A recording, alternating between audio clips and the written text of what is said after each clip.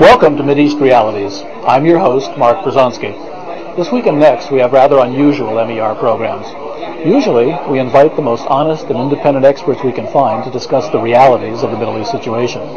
We do so because the establishment media, both print and TV, far too often obscure and misrepresent the actual realities of the situation. There are many interest groups and think tanks whose job it is to influence the media away from realities and towards the viewpoints of various governments and what can be termed the post-Cold War military-industrial complex. The Israeli Jewish lobby's influence in Washington is very well known, of course, and it has never been greater than with the Clinton administration. Consequently, with MER, we try to discuss the actual realities of the Middle East as opposed to what the lobbyists, the government spokesmen, and the arms merchants want you to think is happening. This evening, however, we're at the Adass Israel Synagogue in Washington, D.C. to hear what Moshe Arens has to say.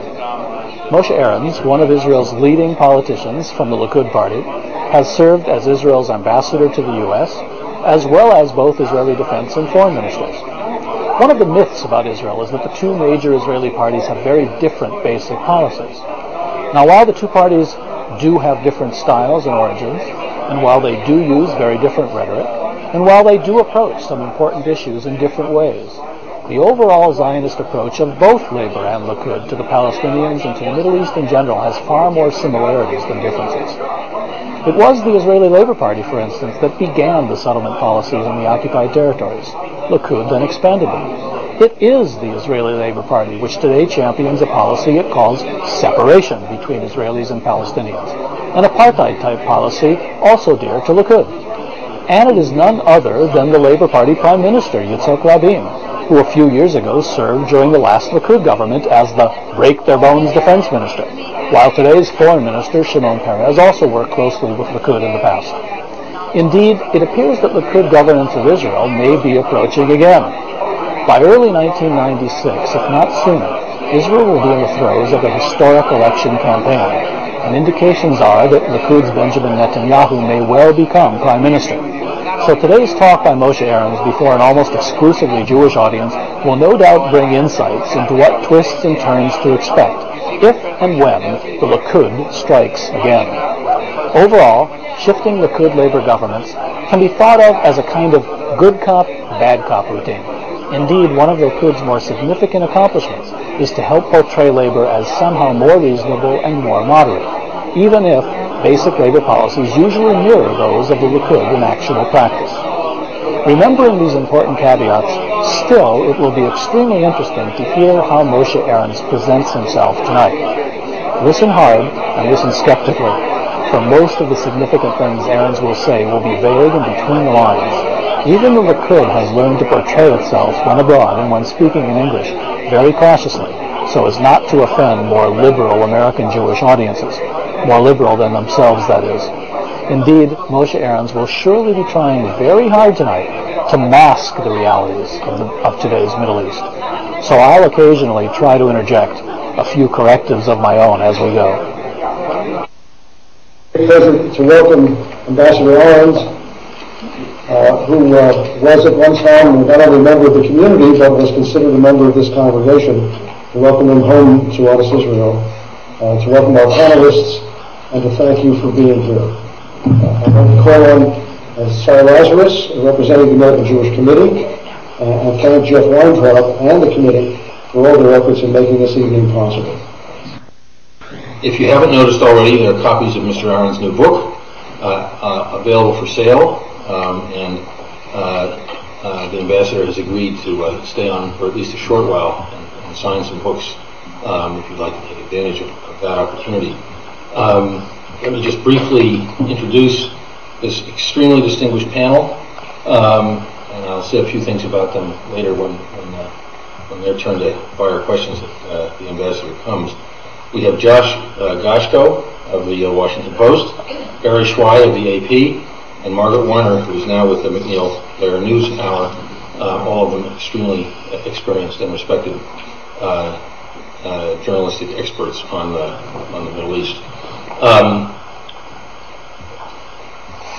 Mr. Arens comes to us tonight at a moment when Israel is facing one of its uh, greatest uh, challenges. Um, uh, on the one hand, Israel has never never been at peace with as many neighbors as it is today. On the other hand, it is not at peace um, as the spate of suicide bombings and other clashes with violent rejectionists have demonstrated. Mr. Arens is going to both talk about uh, the uh, matters that are covered in his, in his new book uh, concerning his own uh, tenure as um, uh, a member of the uh, cabinet in the most recent government. I'm sure he'll also be wanting to talk about um, the events that we're all concerned about today.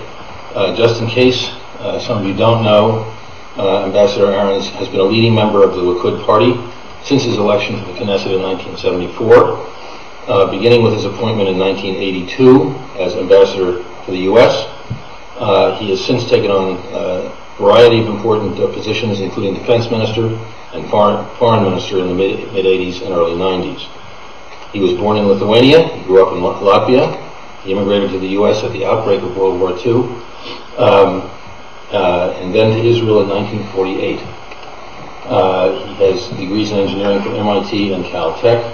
Uh, he's been a university lecturer on engineering in Israel. He ran his own engineering firm. He oversaw Israel's major aircraft and weapons systems program programs in his role as vice president for engineering with Israel Aircraft in- Industries. Uh, two years ago, uh, Mr. Arens resigned from the Knesset, and since then he has served as vice chairman of the Israel Corporation. He's also the author of the just released book, here for, Broken Covenant, American Foreign Policy and the Crisis Between the U.S. and Israel. Please join me in welcoming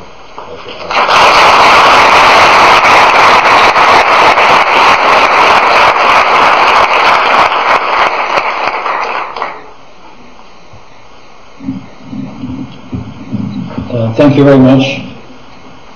It is uh, really a pleasure to be uh, with you here tonight. It's almost like homecoming, coming back to uh, Washington after many, many years.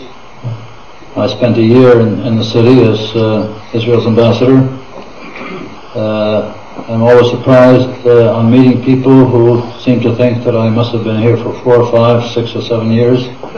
It was only uh, 12 months, but they were a very intense uh, 12 months. It was the period of the war in Lebanon. And uh, those of you whose memory goes back that far will probably recall that during that period I appeared on television here uh, almost every day and sometimes uh, twice or three times a day. And uh, there's a certain element of nostalgia connected with uh, coming back to the city uh, in which I spent a memorable year. Uh, as you've heard, as you've heard in the introduction, I've done uh, many things in my life. Uh, I'm probably on my seventh career at this stage, but I had never written a book. This is the first book I've written. I think it's probably the last book I'm going to write. because I'm busy doing uh, things, uh, I had never thought that I would end up writing a book, but I wanted to get it out of my system. I thought it was important uh, to tell the story of uh, four years, 1988 to 1992, uh, four years in which I was Israel's foreign minister and Israel's defense minister. Uh, years that were very eventful, uh, that are important even now when, when we look back at these years, and there have been many events uh, since then. Uh, the title of the book, uh, as I originally envisaged it, uh, was going to be uh, War and Peace in the Middle East, 1988 to 1992. Uh, that is the title of the book in Hebrew, Milchama v'Shalom Tichon, 1988 to 1992. But the American publisher wanted a somewhat zappier title, I guess. And, that's how this uh, Broken Covenant title uh, got born. The book, uh, as you can uh, judge, uh, is not an autobiography. Uh, I thought that it would divert attention from the story that I felt needed to be told, and probably would not be told by anybody else, and maybe would have gone untold unless I wrote this book. If I were to stretch it all the way from the time and place where I was born until uh, until the present time. So maybe I'll just say a few words about uh, my biography, the, the pieces and parts that do not appear with any prominence uh, in the book. I went to Israel in 1948 from the United States. Uh, quite frequently, people in, in the United States uh, will ask me, how is it that you went to Israel in 1948? And I'm a little hesitant to uh, respond with uh, what naturally comes to my mind, I would say, how, how is it that you did go to Israel in 1948? Because to me, at that time, it seemed like uh, the only thing to do. An obligation that I, as a young Jew at the time, felt I had. Uh, I had the feeling at the time, and I think correctly so, in a historical perspective, that uh, the Jewish people three years after the full dimensions of the Holocaust had become apparent, uh, were fighting for their lives. That maybe this was really our last battle uh, for survival. And I thought every Jew that could contribute in any manner or measure to uh, victory in that battle had to, uh, had to, had to do his part. I uh, afterwards returned to my profession. I was an aeronautical engineer. I, I taught at the Technion uh, in the Department of Aeronautical Engineering that was founded at the time under the inspiration of uh, David Ben Gurion, who was uh, Prime Minister and Defense Minister at the time. I never dreamt in my wildest dreams that I would ever end up being Israel's Defense Minister and uh, the office that, uh, that he held. It was a great period for me, uh, teaching at the Technion, then going on to become the chief engineer of Israel Aircraft Industries, which was no more than a garage when I first started there in 1982 that did minor modifications of aircraft. And that uh, within a number of years uh, became one of the great aerospace industries of the world. Uh, created, developed, uh, by these graduate, these young graduates of the Department of Aeronautical Engineering uh, of the Technion. And uh, it was only after I left Israel Aircraft Industries in 1971 that I went into business, had a little more time, a little more money, and in a moment of weakness uh, allowed myself to be talked into going into politics and uh, running for the Knesset thinking that maybe I would contribute four years or part of my time during four years on the political scene, do what I could for, for my country as a politician, but the four years stretched out to be 18 years, and the last four years of those 18 years are recorded in, in the book that uh, you have before you. Uh, there were, I think, important, important years in Israel's history and they included uh, four specific developments, events if you like. One, the Intifada. I inherited the Intifada from uh, my predecessor at the Ministry of Defense, uh, Yitzhak Rabin. Uh, we changed posts twice, a very unusual occurrence uh, anywhere and unprecedented in Israel. He took over the defense ministry from me in 1984 after my first tenure as defense minister, and then again in 1992 after uh, Labour won the elections, and uh, I turned the defense minister over uh, over to him. Intifada broke out during the time that he was defense minister. Uh, when I became foreign minister after the Likud election victory in 1988, uh, it was going strong. Uh, it was causing Israel a great deal of damage. Uh, Rabin used to say, and, and I, uh, I agreed and repeated that, that it was not endangering the very existence of the State of Israel. It wasn't like the Yom Kippur War. But uh, we knew that it had the seeds of causing Israel a great deal of damage, which in the long run might uh, create dangers that maybe we couldn't even fully conceive. But when I entered the foreign ministry, I realized that uh, Israel was becoming increasingly isolated, uh, coming under uh, attack and pressure not only from those who had never been friends of Israel, but also from friends of Israel, uh, from members of the Jewish community. Uh, there was considerable concern and dissension in Israel itself, uh, and it was a phenomenon that had to be addressed. I point out in the book that I think it, uh, it was a very grave mistake on the part of Israeli governments, mostly Labour, but uh, eventually also Likud, that over the years since 1967, when uh, Judea, Samaria, and Gaza came under Israeli control, uh, the Palestinian population was in effect ignored. There was no Israeli policy towards uh, the Palestinian problem. It was a non-policy. Uh, it was a policy, a non-policy that was originally enunciated by Moshe Dayan, who was defense minister during the Six Day War and for many years uh, thereafter, which in effect said that Israel was waiting for a telephone call from King Hussein. Uh, there was some specious logic in, in the saying, uh, Judea Samaria, the West Bank, had been annexed by Jordan in 1948 after Jordan participated in the attack on, uh, on Israel in 1948. The uh, Palestinian population, in those days it was called the Arab population of the area, had received Jordanian citizenship, and so Dayan said, and uh, that policy was then followed by uh, successive Israeli governments. When and if King Hussein came to the peace table, that would be the time to address and negotiate the status of the territories and of the people living in the territories.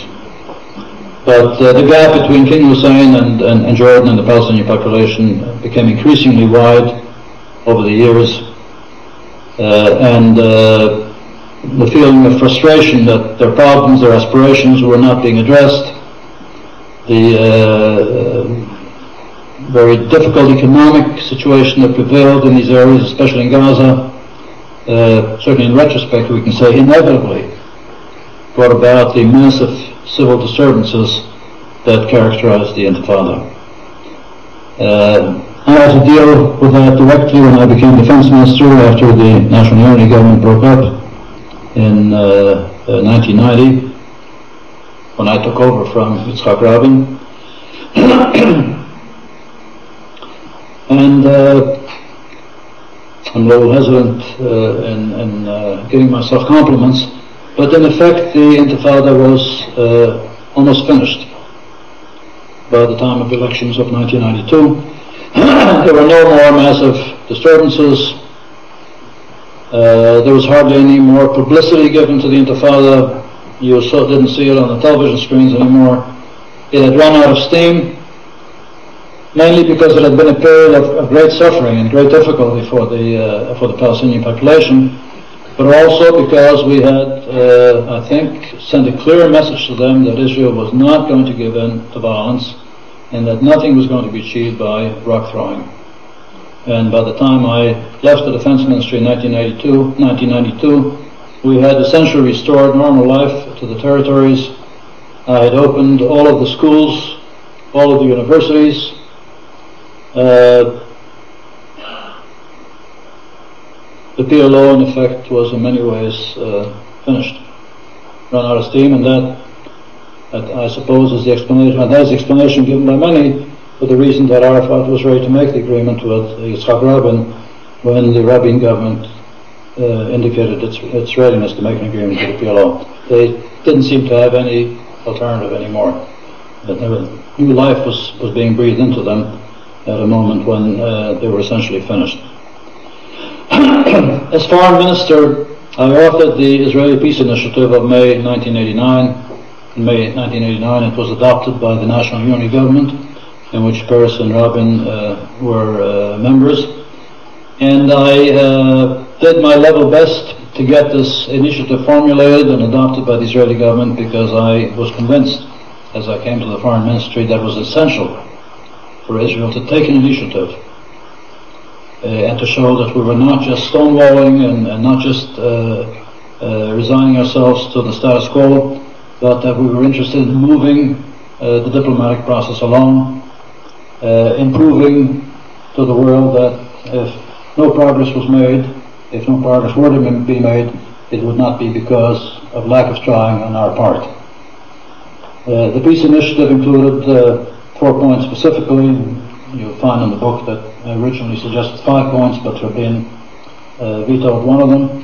He was defense minister at the time. And the four points were uh, one, a uh, re- reconfirmation of the uh, Israeli-Egyptian peace treaty, uh, a consultations between Israel and Egypt and the United States, uh, which was a signatory to the Camp David Accords, uh, two direct negotiations between Israel and those are countries that insisted that they were in a state of war with Israel. Uh, three negotiations between Israel and democratically elected representatives of the Palestinian population in Judea, Samaria, and Gaza, and for an international effort to uh, relieve the uh, plight of the Palestinian refugees in the refugee camps. Uh, some of those points uh, are in the process of implementation. Uh, the initiative led eventually, after the Gulf War, to the Madrid Conference. The Madrid Conference led to direct negotiations between Israel and Palestinians, Israel and Jordanians, Israel and Syrians, Israel and Lebanese. Not all these negotiations have uh, uh, produced uh, concrete results, at least uh, not so far.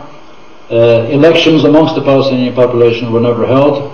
I think that that was a very bad mistake, and the negotiations that eventually brought about an agreement which in my view is, a, is a, sad mistake, were uh, held with Yasser Arafat and the PLO and not with the people that were elected by or had a mandate from the population living, living in the area.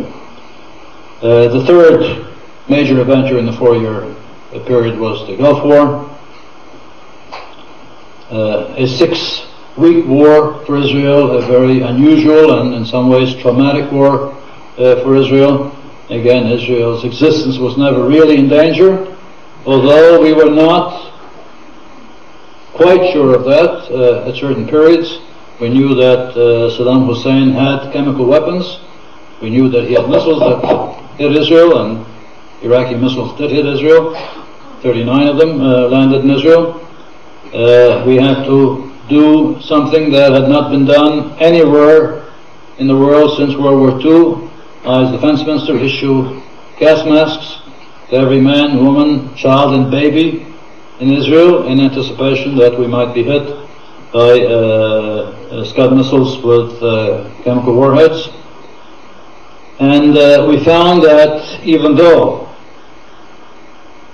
it was no accident that Saddam Hussein, who was a sworn enemy of Israel and threatened Israel with destruction and threatened, threatened Israel with the use of chemical warfare, but for a certain period of time, in my view, an aberration, was supported by uh, the administration in Washington, was given, amongst other things, what the administration refused to give to Shamir's government, namely loan guarantees, which were not used for their uh, presumed purpose of buying agricultural uh, produce, but rather were used for, uh, for weaponry. Uh, it was no accident that this man who was an enemy of Israel also turned out to be an enemy of the United States. I think that that was inevitable. But as it turned out, and, and I wrote about it in the book, the enemy of our enemy did not turn out to be our friend. And uh, the Israeli-U.S. relationship during that period as well, or maybe especially during that period, was not really the kind of relationship that you would expect uh, to uh, have occur between two allies at war against a common enemy. Uh, the four-year period, uh, in terms of the U.S.-Israeli relationship, which is really one uh, very unique between two countries very far apart, in many ways very different. Israel, one of the smallest countries in the world, the United States, uh, the superpower today, the leader of the Democratic Community of Nations.